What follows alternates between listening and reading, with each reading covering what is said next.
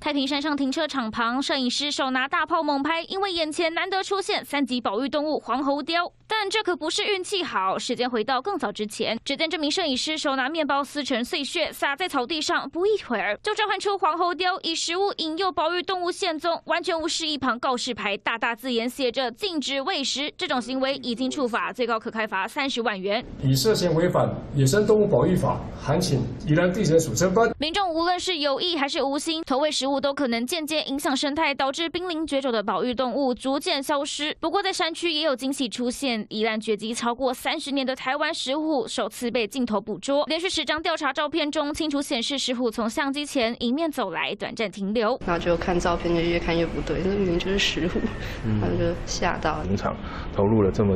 这么多的精力，也在这个过程之中看到很多的生态的一个复复苏。石虎通常只生存在苗栗以南到嘉义、台南一带浅山，在宜兰现身，让生态专家又惊又喜。富裕台湾生态，不只需要保育人员用心，更要民众共同努力。记者林医生、郭玉生，宜兰采访报道。我是徐国豪，在中视新闻首次坐上主播台，体会到播报新闻所需要的稳健台风，以及掌握突发即时新闻的随机应变，为观众播报最及时的新闻，就是展现专业的时刻。更多新闻，请锁定中视新闻 YouTube 频道，记得按赞、订阅、分享，并开启小铃铛哦。